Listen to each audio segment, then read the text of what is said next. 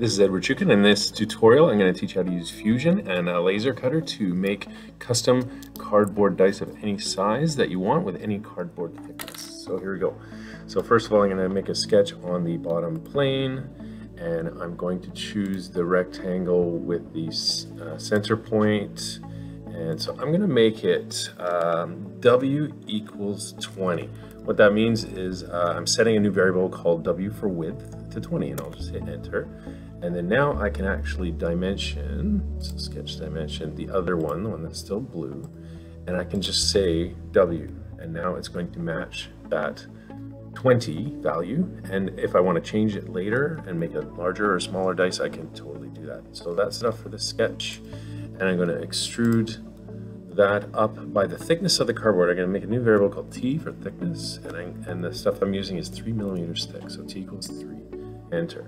Okay, now I'm going to sketch directly on the face of this bottom piece, and I'm going to make a couple of notches. So I'm using the rectangular uh, tool, and I'm going to say W over 3 for the length of the notch, so we'll have sort of a thirds, and then the other one is the T value, the thickness of the cardboard.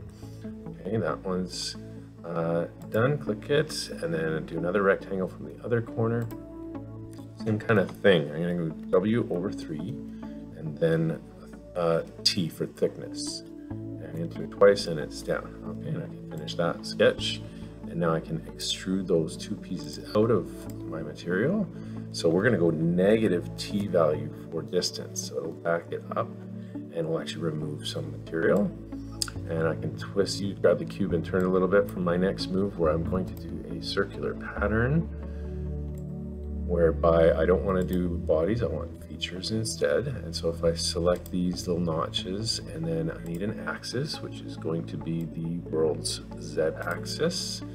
Uh, the default is sometimes three, but you can make it four and that should take the notches out of all four sides. And there we go, that's a nice little uh, bottom piece for me. Uh, next, I'm going to create a new work plane offset from the original X, Y plane and in this case, I would go W over 2, so width in half. And so I can mirror this with my next move. Mirror, and this time, yes, a body, mirror that object using this new plane, and okay. I now have a top and a bottom. Excellent. I'm now going to create the sketch for one of the walls. I'll just do it right on the edge of one of uh, my top piece and we're going to need to uh, project some geometry here. It's, it's, under create and it's project and it's, it's letter P or just P for short. I need a couple of points. I need the top left corner and bottom right corner. I click OK. Then I can do a rectangle across and that's all I need. And now I can do an extrusion of that one. And this one's going to be negative t value as well, but I don't want it to be a cut this time. I actually want to make a whole new piece. So I'll have a separate body. And notice how it is uh, leaving a notch at the top, but actually at the bottom, it's not leaving a notch there.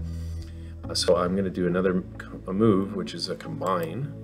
And I'm going to be losing material in the wall, using the floor, and then sometimes this one is unchecked, the keep tools. You definitely want to keep your, your floor, so I would say okay to that and that actually removes the material from uh, the, the, the wall. So now there's a bottom notch and a top notch. So you turn those on and off to see what you have. Uh, next, I'm going to create a sketch right on the wall going to do uh, some notches. Start in the upper left and then again we've got uh, T for thickness this way and then W over 3 for that way. And another one starting at the bottom left. Again, T is one of them and W over 3 is the other.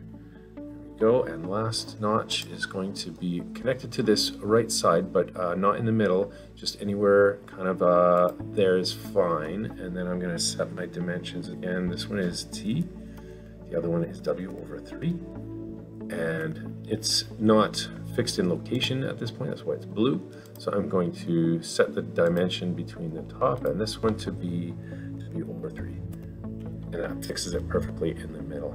And that's all I need. Now I would extrude those notches away with negative t for the value and it is a cut this time and I say okay to that and we have a, a finished wall And now I can create one last circular pattern where I'm not doing a feature, I'm actually doing a whole body and I'm selecting the wall.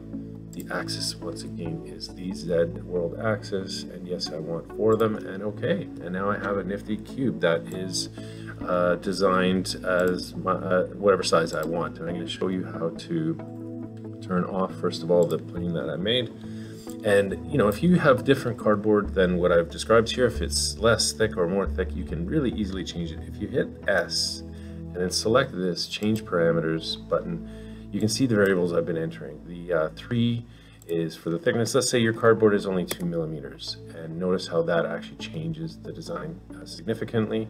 Or maybe you want to make a larger cube, you could set that width value to a higher value or a lower value. I'm going to go back to my 20 and 3, uh, but the nice thing is you can set those to anything and uh, the model will automatically adjust. I'm going to close that. And now I want to export my uh, work here so I can laser cut it. So really there's only two unique shapes. There's a wall and, and uh, the top and bottom. So if I select to draw on a wall and I hit the P for project geometry, select the middle, hit enter, and it grabs all those sketch points for a, a laser cutter. And then one more for the top.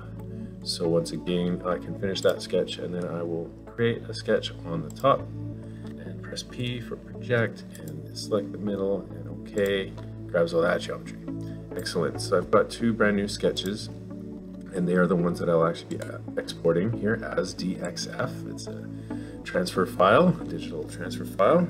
Uh, works with many machines. I'll call this dice uh, side um, and and then I'm going to do the same thing for sketch six. It's going to be a dice top um, loop. You see I have a number of them that I've been practicing with. Okay, as long as you remember. Then I would open up my laser cutting software. In this case, um, this is going to be the, the final product here, but I'll show you, you would import uh, the two that were just made. Yes, I did do millimeters. Puts it right in the middle. I'm going to hold shift and hit the arrow. So there is one of the top pieces. And then you would load in a side piece, open, and once again, that'll be in the middle millimeters. Get that to separate.